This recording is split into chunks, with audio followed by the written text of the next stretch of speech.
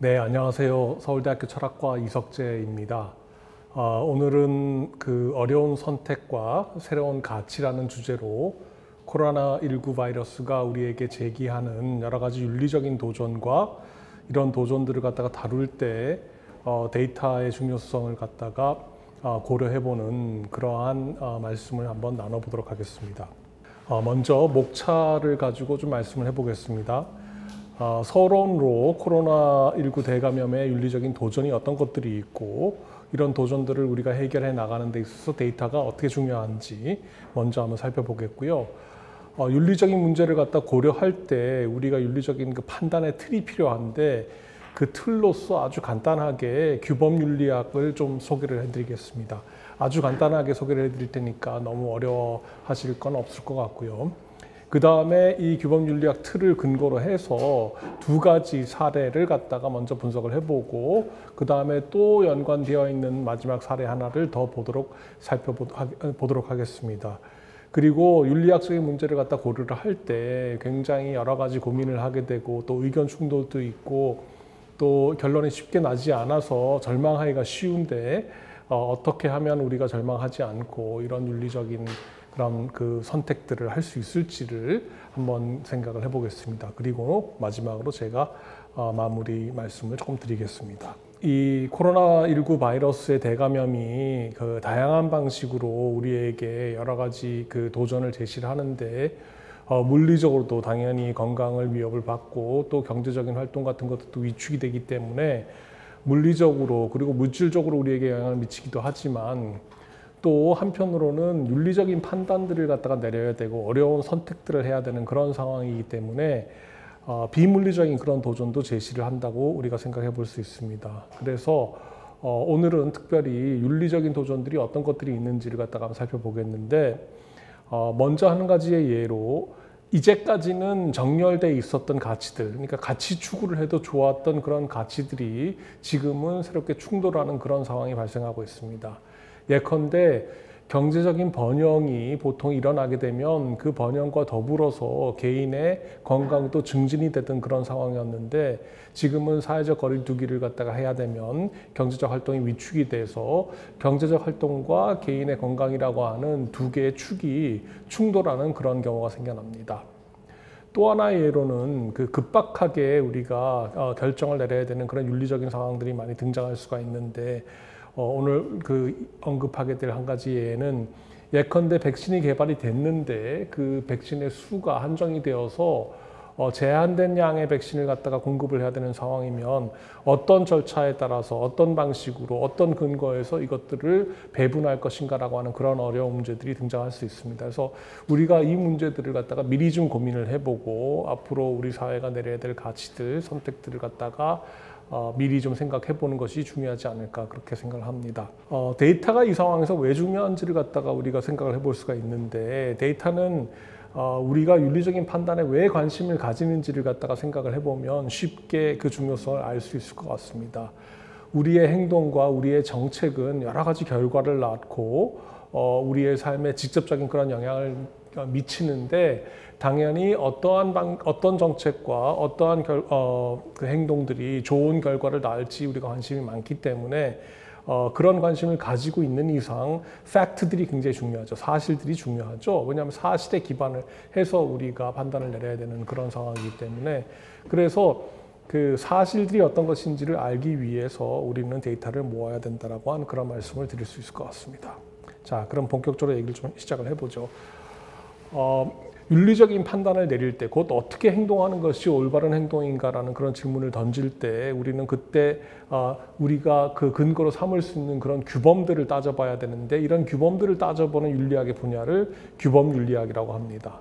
그래서 규범 윤리학에는 크게 세 가지의 입장이 있는데 하나는 이른바 결과주의, 또 하나는 의무론이고 세 번째는 덕이론인데 오늘은 그 결과주의의 한 형태인 공리주의와 어, 의무론의 한 형태인 칸트의 의무론을 살펴보기로 하겠습니다. 간단하게 말씀을 드리면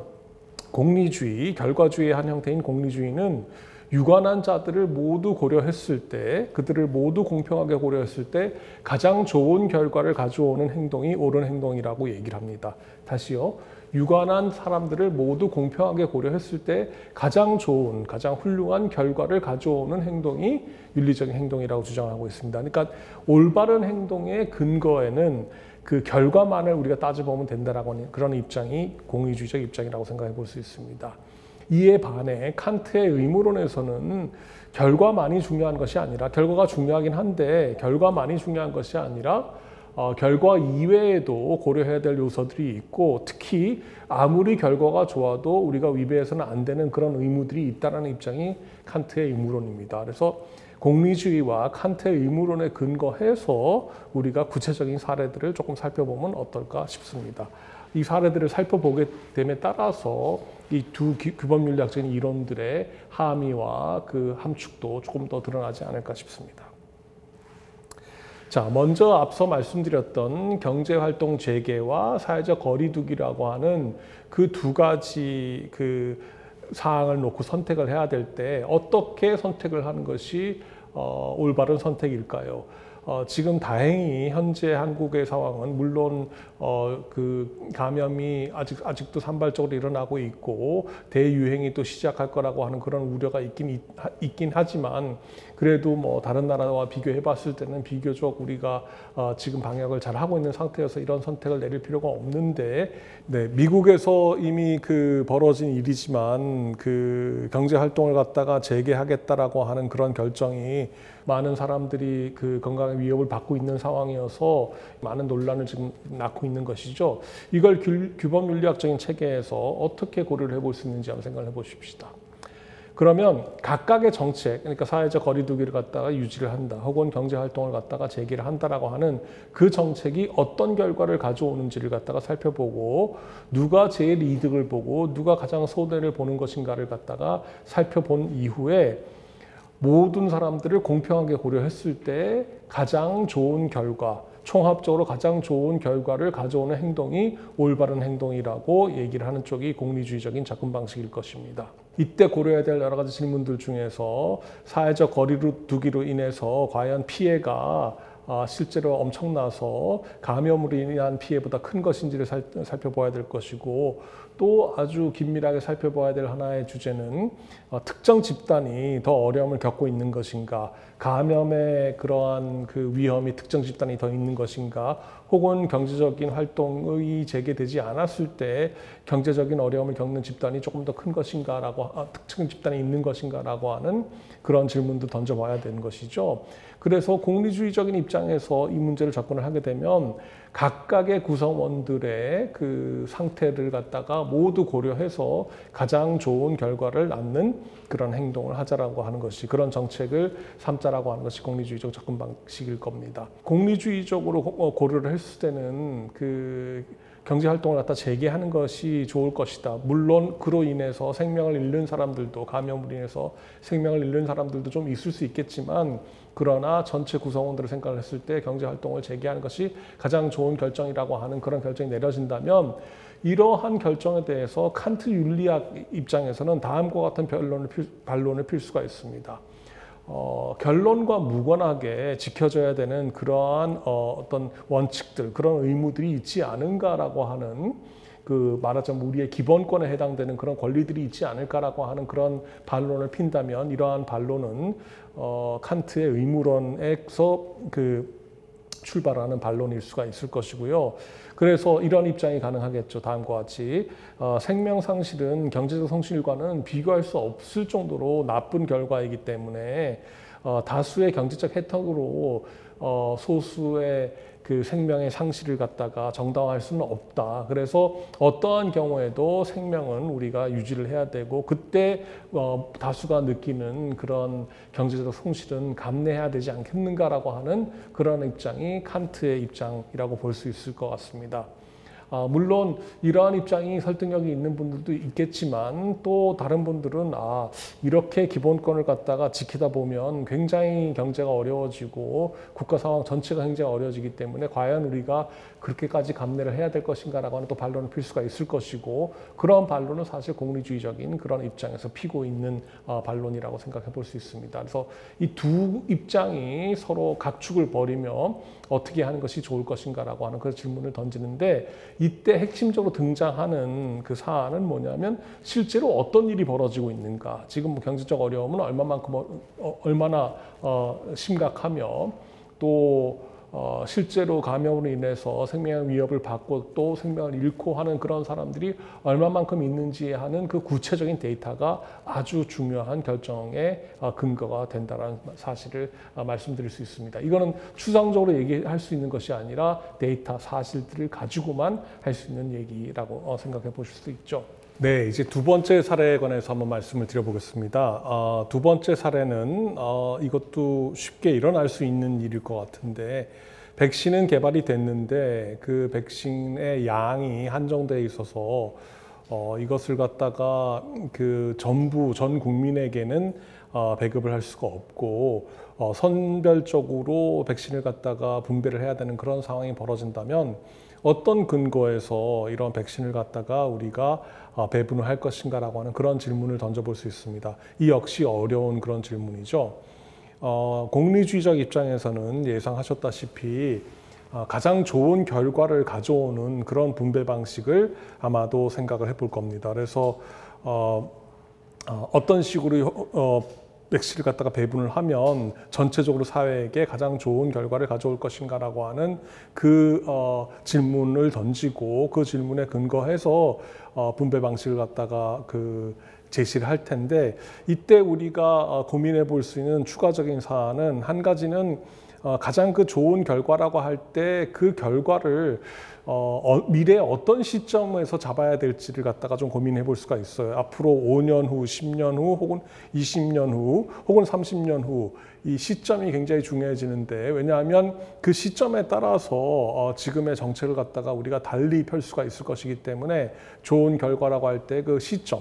어, 언제 그 좋은 결과를 갖다가 이른바 측정할 것인가라고 하는 그 질문이 등장할 수가 있고 또 하나 그 재미 뭐 재미있다기보다는 조금 어려운 질문일 수 있을 텐데 만약에 백신의 고가 판매가 미래 효과적인 생산을 위해서 가장 좋은 수단이 된다면 과연 그 정책을 갖다가 우리가 받아들일 것인가라는 그런 질문을 던질 수가 있습니다. 아, 공리주의적인 입장에서는 만약에 어, 백신을 갖다가 고가로 판매하는 것이 재원을 마련하게 돼서 보다 빠른 속도로 추후에 백신을 갖다가 공급할 수 있는 가능성이 높아진다면 공리주의적 입장에서는 그걸 허용을 할 텐데 또 고가의 백신을 갖다가 판매한다라고 하는 그런 정책이 어, 여러 가지 면에서 우리의 국민의 정서상 또 맞지 않을 수가 있기 때문에 이러한 질문을 아마 던져볼 수 있을 것 같고요.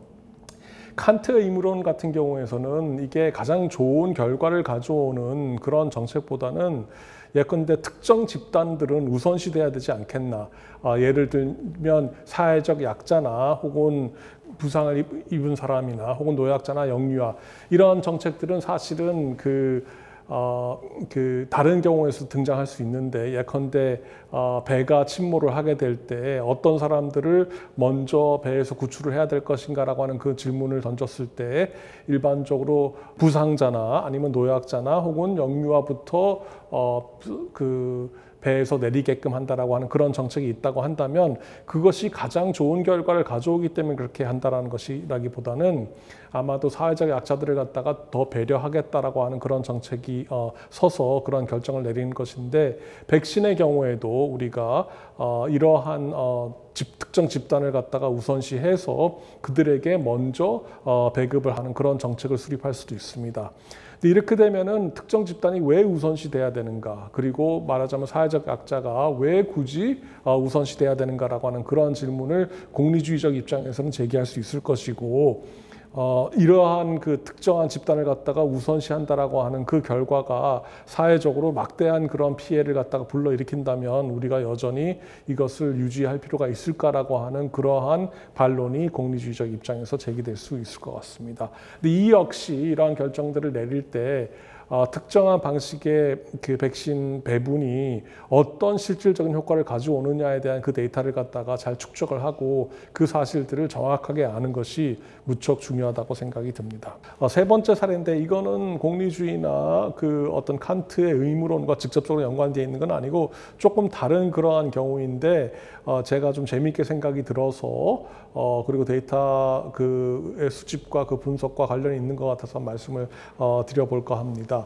그 마스크 착용에 대해서 굉장히 문화적으로 사회적으로 그 반응이 그 상이하게 등장을 하는데 이것도 재미있는 현상이면서 또 우리가 굉장히 어, 심각하게 고려를 해야 되는 현상이 아닐까 싶습니다. 어, 미국에서 같은 경우에는 마스크를 쓴다라는 것이 나름대로 상당히 효과적이라는 것을 갖다가 알고 있음에도 불구하고 마스크를 쓰기를 굉장히 꺼려하는 그러한 경향이 등장하는 방면에 한국이나 일본이나 중국 같은 경우에는 마스크 쓰기에 대한 어떤 문화적인 그런 반감이 없는 것이 어떠한 이유에서 이런 것들이 일어나고 어, 왜 그러한 차이가 있는지 역시 우리가 데이터 분석을 통해서 알게 되면 조금 더 효과적인 이 어, 코로나19 대감염과 같은 그런 어, 유행을 갖다가 막, 막을 수 있지 않을까라는 그런 생각이 듭니다. 그래서 어, 당연한 얘기지만 마스크 착용 효과에 대한 어, 정확한 그 정보 수집이 필요할 것 같고 또 마스크 착용과 관련된 다양한 문화권에서의 그런 설문조사 같은 것들이 해서 사람들이 어떻게 생각을 하고 어, 왜 그러한 생각을 갖고 있는지에 대한 정확한 데이터가 있게 되면 조금 더 효과적으로 우리가 그 이 유행을 갖다가 방역을 하는데 도움이 되지 않을까 그런 생각이 듭니다. 제가 이건 뭐 전혀 그 사실은 데이터를 수집한 상황이 아니기 때문에 좀 어, 조, 조심스럽긴 한데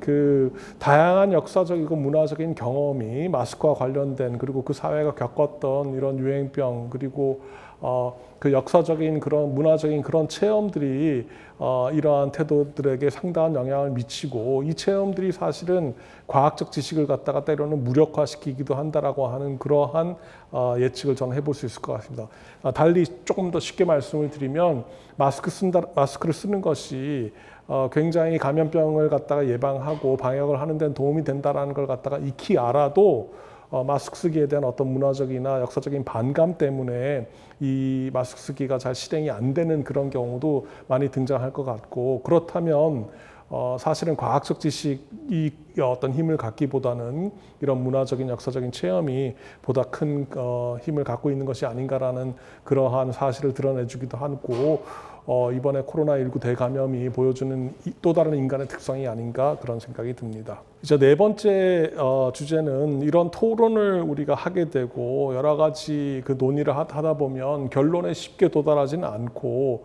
어, 사실은 이견이 많이 등장을 하고 격앙된 감정이 등장을 하고 합의는 이루어지지 못하고 어, 서로 차이만 드러나는 게 아니냐. 그래서 과연 우리가 합리적으로 동의를 할 수 있을까라고 하는 그런 두려움이 생길 수 있을 텐데 어, 저는 그럼에도 불구하고 어, 합리적인 소통의 힘을 강조를 하고 싶습니다. 합리적인 소통을 하게 되고 자기의 입장을 명확하게 밝히고 왜 그런 입장을 취하는지 그 근거를 제시를 하게 되면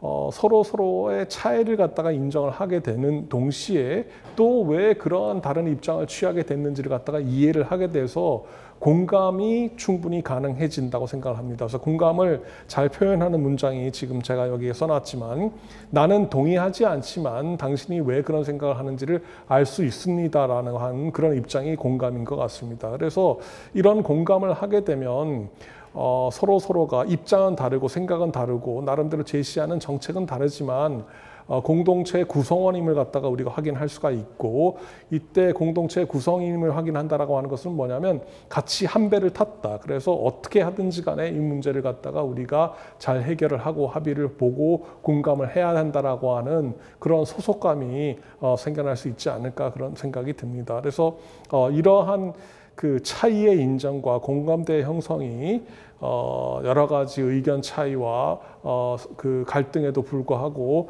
타협과 어떤 중도의 그 길을 갖다가 열어놓지 않겠나라는 어, 그런 생각이 들고 이, 이게 가능하기 위해서는 입장이 다른 사람에 대한 어떤 최소한의 어떤 존중은 유지를 어, 하는 것이 중요하다는 그런 생각이 어, 듭니다.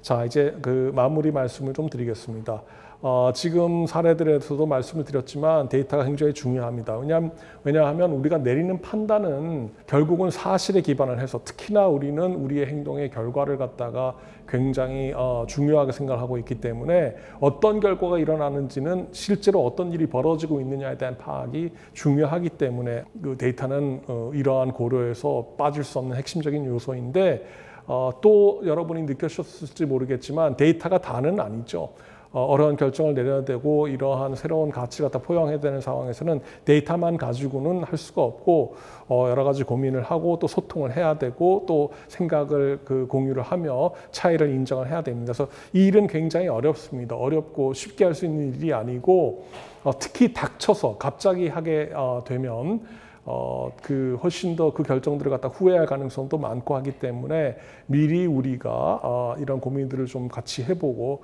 소통을 하는 것이 중요하지 않을까라는 생각이 듭니다.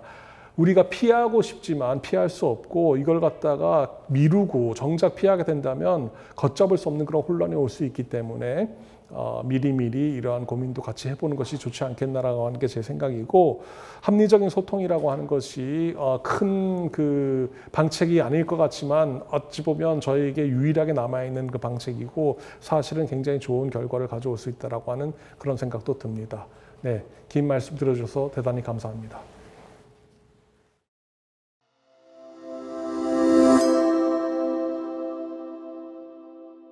네, 안녕하세요. 오늘 진행된 강연의 대담 진행을 맡은 이대한입니다. 그리고 오늘 저와 함께 대담을 이끌어 주실 주윤정 박사님이십니다.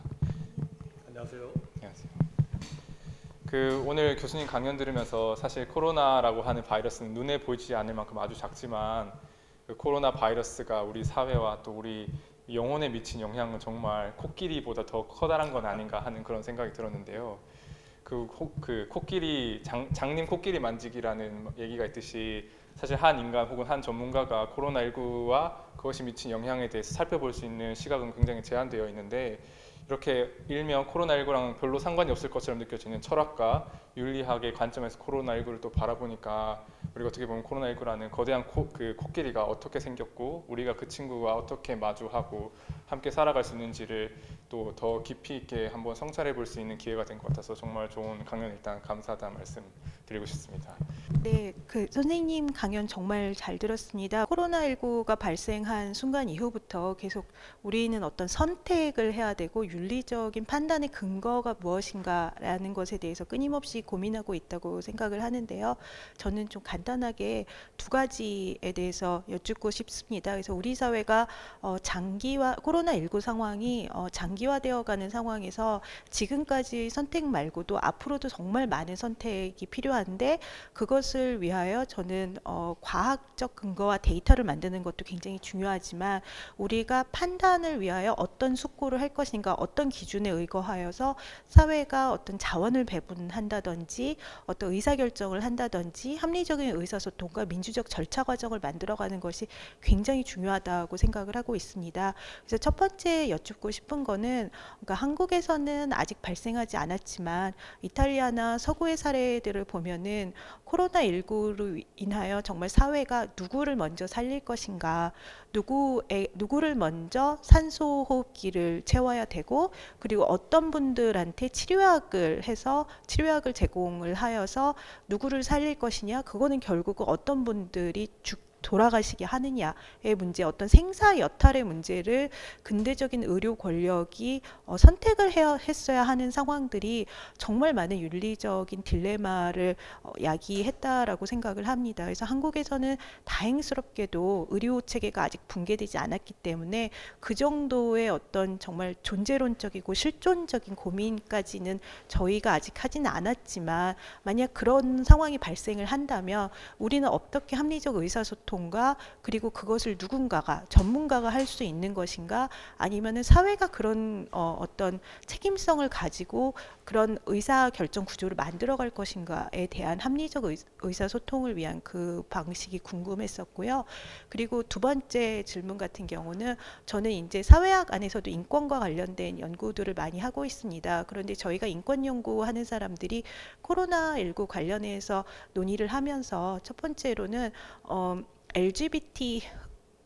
그러니까 이태원 사건과 어, 성소수자 관련한 문제가 발생을 했을 때 성소수자의 낙인을 감소하여서 인권을 보호하는 것이 방역에 도움이 되기 때문에 적극적으로 그 당시에는 인권을 존중하는 어떤 인권 기반 방역이라는 것들이 좀 작동을 했었는데요. 그런데 사실은 한국 사회가 정보권의 부분에서 어떤 뭐 손목 밴드라든지 아니면은 정보 공개라든지 개인의 아주 기본적인 프라 이버시와 관련된 문제에서는 사실은 국제 기준에 미추어서 약간은 조금 미진하거나 저희가 고려해야 되는 부분도 많이 있는 것 같습니다. 그렇지만 그 앞에 그 방역에 도움이 되는 일종의 공리주의적인 입장에서의 인권관이라는 것은 쉽사리 도움 이게 사회에서 제도화될 수가 있었지만 프라이버시 보호라든지 이런 아주 근본적인 기본권과 관련된 문제들은 이야기를 하면은 지금 방역 상황에서는 논의하고 논의할 수 있는 것이 아니라 오히려 사회의 피해를 야기한다. 아까 선생님께서 정확하게 말씀해 주신 것처럼 그런 식의 것들이 발생을 하는데 그럼에도 불구하고 어떤 기본권의 보호와 이런 것들이 단순히 방역에 방해가 되는 어떤 골칫덩이가 아니라 사회가 어, 인권과 민주주의를 중시하는 사회라면 이런 논의를 조금 전개할 필요가 있다고도 생각을 하는데 선생님께서는 어떻게 생각하시는지 말씀해 주시면 감사하겠습니다.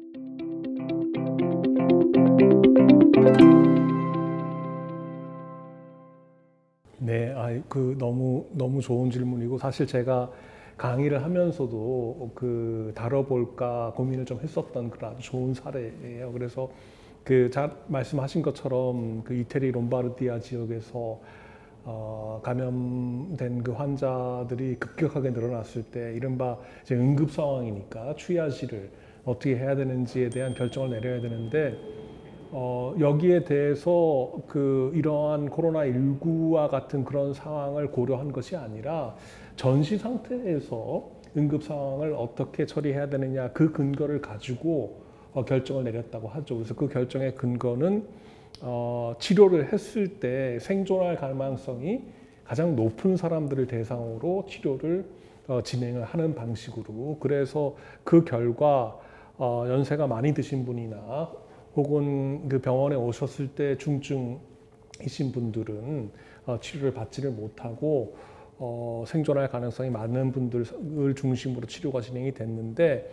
어, 충분히 우리가 내릴 수 있는 결정이죠. 이런 결정이 아마 공리주의적인 결정인 것 같은데 가장 좋은, 그러니까 생존하는 사람들이 더 많아진다라고 하는 것이 좋은 결과라고 우리가 가정을 했을 때 그 정책도 충분히 입안할 수 있는 그런 정책인데 어, 지금 그 정책으로 인한 후유증들도 많이 나타나고 있죠. 그 이태리 같은 경우에는 제가 듣기로 어, 고령 환자가 많이 일어났던 이유 중에 하나는 그 젊은 감염자들이 그 고령의 그 할머니 할아버지하고 굉장히 가까웠기 때문에 그 접촉하는 빈도가 더 커졌기 때문에 그러한 고령 환자가 많이 일어났다고 얘기를 하는데 이 얘기는 무슨 얘기냐 하면 그 손자와 그 조부모의 관계가 그만큼 돈독했는데 그들이 어, 그 생을 마감할 수 있는 그러한 제대로 된 기회를 드리질 못해서 그 가족 관계에서 그 젊은 손자나 손녀들이 갖고 있었 그 갖게 되는 그 트라우마가 또 사회적으로 전혀 예상하지 못했던 결과라는 얘기가 나오고 있기 때문에 이렇게 응급 상황을 조금 전에 말씀드린 그런 방식으로 쉽게 또 결정할 수도 없을 거라고 하는 그런 생각을 우리가 해볼 수가 있어서 어, 지금 우리나라의 우리 국민들이 이러한 문제들에 대해서 어떤 생각을 가지고 있고 정말로 무엇을 중요하게 생각하는지 어, 저희도 부모님이나 아니면 할머니 할아버지하고의 관계가 굉장히 돈독한 경우가 많은데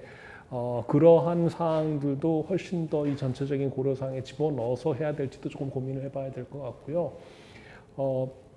이 지금 굉장히 중요한 문제를 지적을 해주셨는데 이거를 우리가 전문가에게 과연 맡길 수 있을까라는 생각을 해볼 수가 있는데 가치의 문제에 있어서 전문가가 도움을 줄 수가 있죠. 예컨대 윤리학자나 철학자가 이러한 고려사항이 있을 수 있고 저러한 고려사항이 있을 수 있지만 어떤 것이 가치가 있느냐라는 질문에 대해서는 그 판단을 갖다가 우리가 위임을 하지 않으려고 하는 사람들도 많이 계실 거고 윤리학 자체에서도 가치는 생각하는 주체가 결정할 일이지 어떤 전문가가 정해줄 일이 아니라는 입장이 충분히 있기 때문에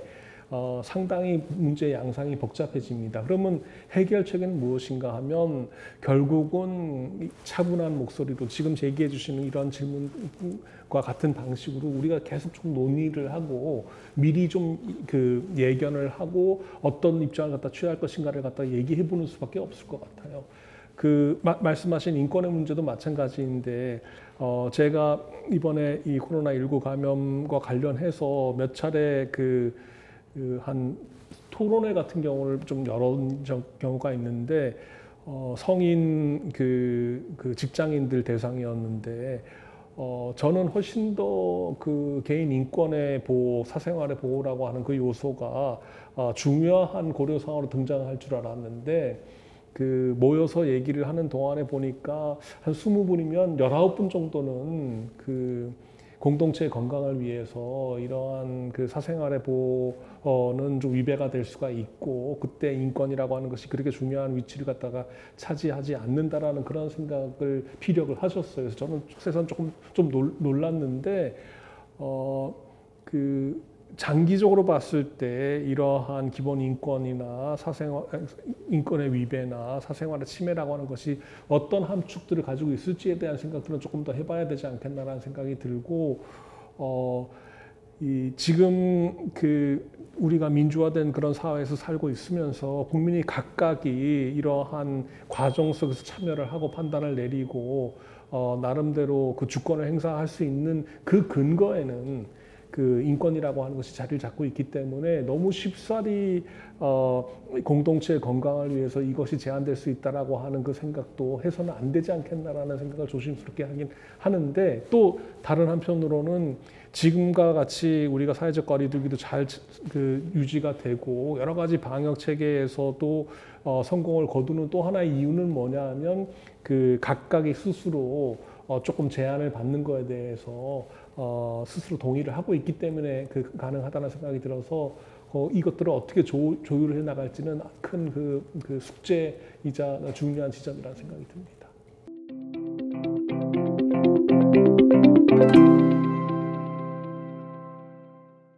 네, 그 지금 주윤정 박사님의 질문에 이어서 네. 저도 어, 관련해서 소감과 질문이 있다면 그 강연을 들으면서 제가 두 가지 이야기 예전에 들었던 두 가지 이야기가 떠올랐는데요. 하나는 그 얼만큼 역사적 근거가 있는지 모르겠지만 전염병을 더 이렇게 심한 역병을 겪은 겪은 문명일수록 더욱 강한 전제 군주정의 성격이 나타난다. 네. 뭐 예를 들면 중국 같은 경우가 그런 뭐 예, 로서 들었던 것 같은데 또 다른 한 가지 이야기는 현대의 정치 철학이나 윤리학이 수용소에서 탄생했다. 그러니까 그 2차 대전의 그 끔찍한 그, 그 인간이 스스로 만들어낸 재앙 속에서 엄청난 인류 자체에 대한 그 위기를 겪으면서 그래서 새로운 어떻게 보면 철학과 우리가 다시는 이런 일이 일어나지 않게 하려면 어떻게 해야 되나라는 고민들이 이어졌고 예를 들면 아렌트의 철학이 그런 내용들이 많이 담겨 있는데 네. 어떻게 보면 지금 코로나가 터진 시점이 이제 2차 대전을 경험하지 않은 사람들이 대다수인 이, 이 시대가 시대에서 이런 일이 일어나서 저는 이제 오, 혹은 혹시 이게 마치 30년대 독일에서 일어났던 것처럼 전체주의로 흐를 수 있는 그런 가능성이 있지는 않을까. 왜냐하면 나치 정부가 투표로 어쨌든 뽑혔잖아요. 그런 것처럼 이게 공리주의, 그러니까 최대 다수의 최대 행복이라고 하는 그, 그 어떤 가치를 정하는 기준과 그 다음에 민주주의라는 제도적인 시스템, 다수결로 결정되는 이 민주주의 시스템과 그 다음에 이런 위기로부터 전체 공동체를 보호해야 되는 이 이런 환경들이 모였을 때 파시즘이라고 하는 것이 출현할 수도 있겠구나라고 하는 뭔가 정말 생생한 경험을 저는 태어나서 처음 해보는 것 같은데 그 철학적인 관점에서 이런 그현이 이 지금 이 코로나 19 사태가 우리의 이런 그 잠재되어 있던 그 전체주의적인 그 본성을 어떻게 건드리는지 또 그런 것들에 대항해서 우리가 사회를 건강하고 또 개인의 그 권리와 우리 또 보편적인 인권들을 보호하기 위해서는 사회적인 차원에서 어떤 교육 혹은 토론 혹은 미디어 이런 부분에서 어떤 노력이 필요하다고 철학적인 입장에서 보시는지 네, 의견을 주고 싶습니다.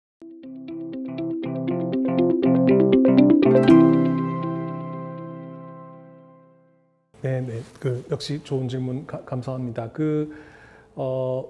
혼란스러운 상황이고 어, 이 코로나19 그 대감염이 갖고 있는 또 하나의 큰 그 특색이 그 불확실성 아닙니까? 그래서 저희가 겪어보지 못했기 때문에 어떻게 될지 모르는 그런 상황에서 어, 자연스럽게 사람들이 갖게 되는 그 경향은 어떤 강력한 어떤 지도력이 발휘가 되어서 우리가 그 강력한 어떤 그 지도력에 의지해서 어, 이 위기를 갖다 극복하는 것이 좋지 않겠나라고 하는 그런 생각은 좀 자연스러운 경향인 것 같습니다. 근데 어, 지금 말씀하셨듯이 어, 그것을 우리가 굉장히 어, 경계를 해야 되고요, 조심스러워해야 되겠다는 생각이 들고 어, 이 특정 사안에 대해서 우리가 공리주의적으로 접근을 하자라고 하는 것도 결국은 각각의 주권을 가진 주체들이 내린 결정입니다. 그렇기 때문에 그 주권을 가지고 있는 그 주체들이 더 이상 이러한 접근 방식은 맞지 않고 적절하지 않다라고 판단을 내릴 경우에는 그것을 갖다가 회수할 수 있는 더 이상은 공리주의적으로 혹은 다른 이러한 정책으로는 가지 말아야 된다라고 하는 그 권리를 갖다가 늘 유지를 하고 있는 것이기 때문에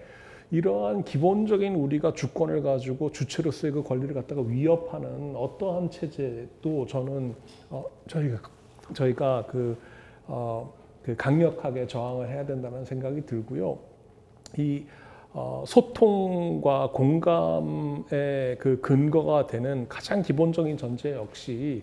어, 나의 생각과 나의 판단들이 나름대로 근거가 있고 그 사회의 다른 어떤 구성과 동등한 그런 지위를 가진다라는 그 생각이 어, 핵심적인 전제이기 때문에 그것이 위협받는 상황을 우리가 어, 허용해서는 절대 안 된다고 생각이 듭니다. 그러니까 그렇게 하기 위해서는 어, 끊임없이 기본권이나 기본 인권들을 갖다가 제한하는 조치들에 대해서는 우리가 어, 그 경계를 하고 관심을 가지고 어, 이것들이 위협을 받지 않도록 한다라고 하는 것을 갖다가 잘그 살펴봐야 될 것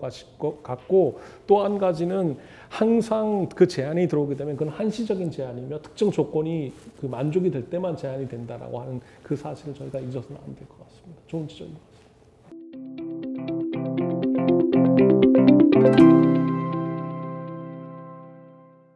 마지막으로 말씀드리고 싶은 것 중에 하나가 어, 지난번에 유명순 선생님께서 발표해 주신 자료를 보면 어, 지금 이제 한국 사회의 분노가 굉장히 높아지고 있다. 라는 말씀을 하셨거든요. 근데 분노를 한다는 거는 그 대상을 찾게 마련인 것이고 그 대상이 어떻게 보면은 뭐 중국 동포와 중국 유학생으로부터 시작해서 신천지 뭐 LGBT 성소수자 다양한 방식으로 옮겨 다니면서 낙인을 통해서 분노를 해소하는 경우도 있는 것 같고요. 그것이 만약에 정치적으로 문제가 생긴다면 정치에게 향할 수도 있는 거잖아요. 근데 저는 요즘에 이 문제들을 계속 보면서 어, 어떻게 보면은 좀 중요한 것이 연대성의 원리와 연대 그러니까 아까 선생님께서 말씀해 주신 굉장히 중요한 게 시민들의 어떤 자발적인 참여를 통해서 이루어지고 있다. 그리고 어떻게 보면 이탈리아에서 어, 그렇게 불행한 사건들이 발생했었던 것들을 오히려 그 안이 가족 관계가 굉장히 끈끈하기 때문에 조부모와 손자들이 굉장히 어울려 사는 사회였기 때문에 발생했었던 것이다라는 말씀을 해주셨던 것처럼 좀 우리가 이것을 어 그냥 어 적대시하고 분노의 감정을 트리거하는 방식으로 해결하는 것이 아니라 사회에서 연대성의 원리와 관계를 조금 더 생각하기 위해서는 어떤 노력들이 필요할 수 있을지 여쭙고자 합니다.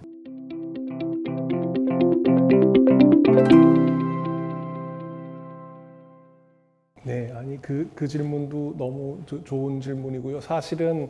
어찌 보면 제가 이, 이 강연을 그 하게 된 그 의도를 굉장히 간파하신 그런 질문 같은데, 어, 그 특정 집단이나 특정 그 부류의 사람들이나 어, 뭐를 갖다가 이렇게 목표로 삼아서 공격을 하는 그 일은 제가 봤을 때그 문제 해결이 굉장히 간단할 수 있다라고 하는 그런 생각에서 출발하는 것 같아요. 이 문제가 발생하게 된 것은 이 사람들이 잘못했기 때문에 아니면 저 사람들이 뭐 잘못했기 때문에라고 하는 그러한 생각에서 나오는 거라서 어, 공리주의야 칸트 뭐 이런 다양한 이론들을 갖다가 얘기 드리는 이유 중에 하나는 이 사태가 굉장히 복잡하다라는 것이고 한 개인이나 뭐 한 어떤 집단이 문제를 일으킨다기보다는 굉장히 이게 복합적으로 사회적으로 등장하는 문제이고 어느 누구에게나 어느 한 사람이나 어느 한 집단에게 화살이 돌아갈 것이 아니라는 걸 갖다가 저희가 빨리 받아들여야 될 것 같고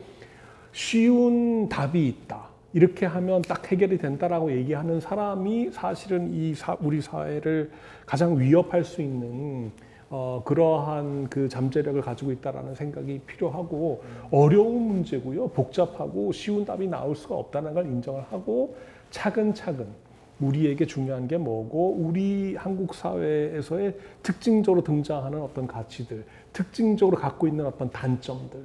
어, 특징적으로 차별하는 그런 경향들은 뭔지를 갖다가 정확하게 솔직히 받아들인 상황에서 결국은 같이 논의를 해갈 수밖에 없고요. 근데 이게 요원한 일 같지만 사실은 우리가 지금 해 나가고 있잖아요. 그죠? 이렇게 지금 K 방역이라고 하는 것 자체가 어, 아직 뭐 성공 여부는 조금 더 지켜봐야 되겠지만 그만큼 지금 천만이 넘는 이 서울 시내에서의 사망자가 나오지 않았다라고 하는 그런 사실들 자체가 굉장히 경이적인 일이기 때문에 어, 해나갈 수 있다는 생각이 들고 지금 두 분과 같이 이렇게 차분하게 이유를 따져가면서 어떻게 하는 것이 좋겠는가라는 얘기를 해나가는 것이 유일한 우리에게 있는 길이 아닌가라는 생각이 듭니다.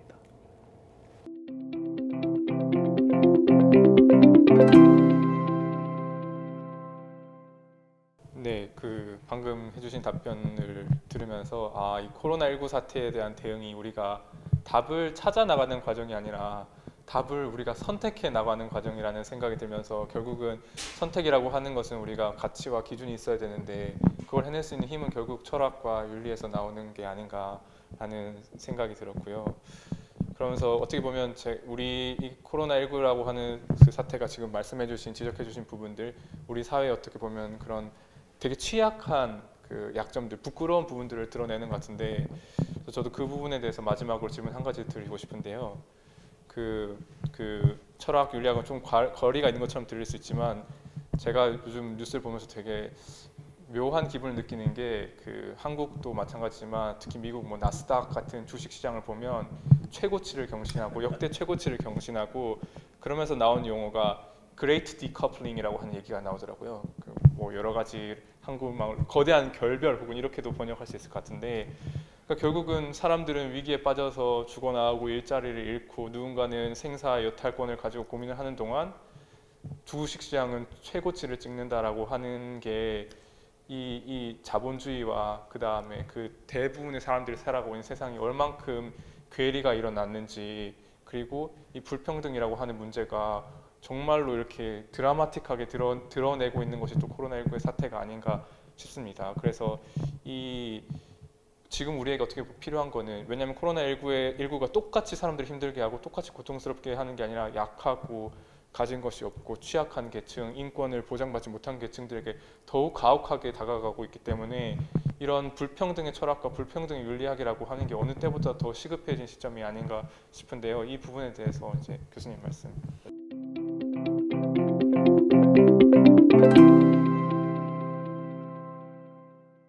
네, 그것도 아주 그 좋은 지적이고 저도 그뭐 제가 경제학을 그 전공하지를 않아서 자, 왜 그런 일이 벌어지고 있는지는 잘 모르겠지만 참그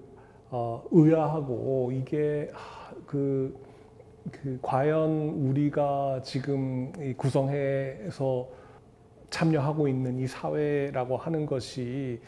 어, 제대로 된 것인가라고 하는 그런 질문이 생길 정도로 좀 그 당혹스럽고 어, 좀 불편한 그런 그 현실이죠. 어, 이참에 그 우리가 그 할 수 있는 일이 뭔가라는 생각을 조금 더 해보게 되면 어, 미국에서는 어, 이런 논의들이 일어나고 있는지 제가 잘 모르겠지만 저희는 이런 식의 어떤 괴리, 그죠? 그 특정인들이 어, 이런 상황에서 고통받고 있는 것을 갖다 전혀 분담하지 않고 혜택을 보고 있는 이런 일은 그 적어도 한국에선 벌어지지 않게끔 하겠다라는 그런 다짐을 새롭게 우리가 가져보고 어 그래서 이런 디커플링을 갖다가 일어나지 아, 일어나지 않게 해나갈 수 있는 방법이 어떤 것인지를 갖다가 어, 다른 나라에서 그 어떻게 하고 있는지를 갖다가 자꾸 고민을 하지는 말고 어, 우리가 실질적으로 해보면 어떻겠는가라는 생각이 듭니다. 이게 자꾸 이렇게 뒤돌아보고 어, 우리가 앞서 나가고 있는데 어, 어떤 분야에서는 아직도 모자란 부분도 많이 있지만 나가고 있는데 여기에 누가 와 있었지, 누가 어떻게 하고 있는지를 갖다 찾다 보면 아무도 찾지를 못하는 것 같아서 어, 더 이상 그런 그 모범 사례를 갖다가 고민할 것이 아니라 우리가 우리의 문제를 붙잡아서 이렇게 해 나가면 어, 좋은 그래도 해결책이 나오지 않을까 그런 생각이 듭니다. 이게 뭐 전혀 대답은 안 되고요. 그냥 열심히 해보자라는 그런 정도 말씀밖에 안 되네요.